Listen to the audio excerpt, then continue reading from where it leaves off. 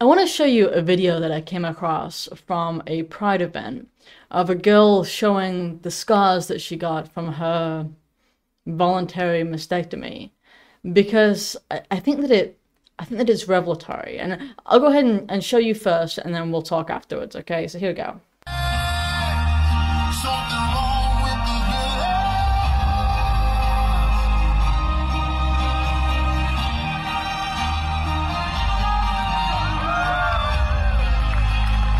It applause?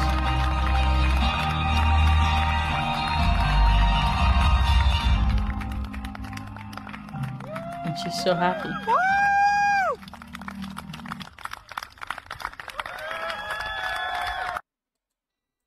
Okay. Now, a few reasons that I, I wanted to show you that, but firstly was, I mean, okay, if she was actually a guy, she wouldn't have those scars. Um, I mean, unless you had uh, breast cancer, which sometimes happens. But beside that, um, the evidence of the fact that she is not a man. But what you see is this this applauding of a mutilation, right? You see the applauding of scars, and also the the sense of um, enjoyment of the scars by her, right? That, that the scars aren't indicative of the fact that she was never actually a man, which they are, or wasn't indicative of the fact that she engaged in mutilation, which they also are, but it, but actually represented a point of of pride for her, and also, of course, resulted in this massive cheering from the crowd because they too thought that that was something that was I don't know, probably brave is the word that they would use. But what's what's interesting about it for me, uh, firstly, is that this is so obviously a type of self worship, absolute worship of of the body and the self and what she has managed to to do to herself. Right? It it is completely inward focused. I mean, in just a really I guess, barbaric way. But that's what it's about. It's not about anyone else. It's just completely look at me, you know, and applaud me for this decision that I made because I'm special. And that brings us to the next point.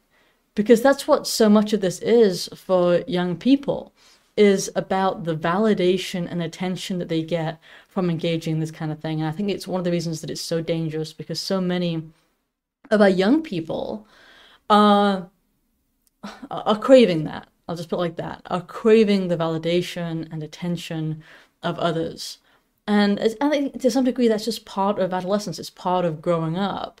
Is is is that it's that, that feeling of how do I how do I fit in? How do I get other people to to like me in some sense? How do I find my place in the world? All those things are very normal parts of growing up. And instead we've taken that and warped it such that the people who get that that instant, you know, validation and gratification and so on are those who mutilate themselves.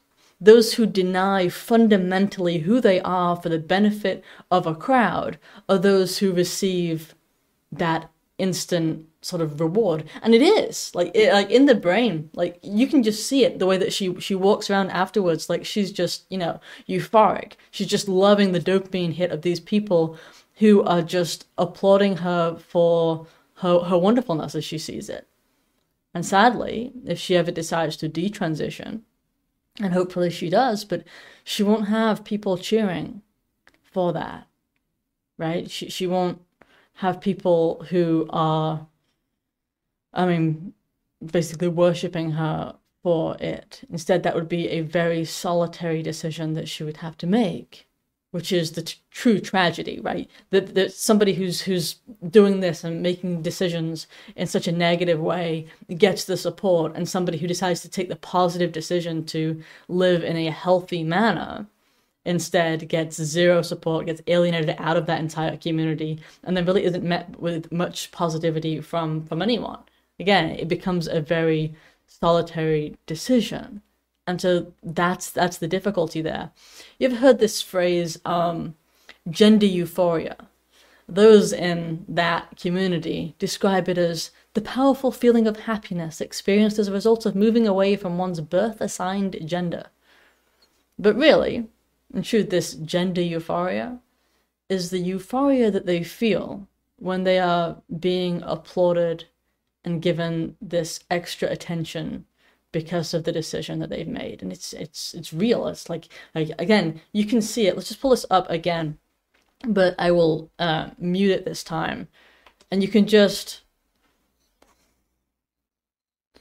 you can just see the way that she staggers around afterwards because she is just completely you know loving the the energy of of the event loving the momentum of this event that's it's like a drug to her.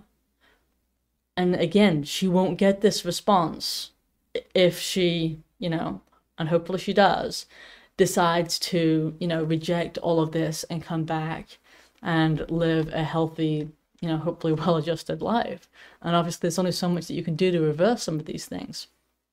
Um, which likewise is a tragedy. But I wanted to bring this up just because I think that people a little too quick to ignore the impact that this kind of, I'm just going to call it attention, has upon people who are young and desperately trying to to fit in and desperately looking for acceptance and support and they get this like massive wave of it. And it's coming not just from like these pride events like that it's also coming from the schools themselves that are applauding as they call it pride but you know any sort of representation of like the the lesbian the bisexual the transgender all of it. If you're if you're in some way outside of what is normal and healthy then then they will reward it. It also comes of course from even the current president of the United States from the White House. It's it's everywhere. It's this constant support for you if you are embracing degeneracy. And it is only then that you will get this sort of uh, praise. And so we shouldn't really be surprised that it's so ubiquitous now, that it's so popular, because it is so unbelievably incentivized, especially for young people. And that is just such a, it's such an evil.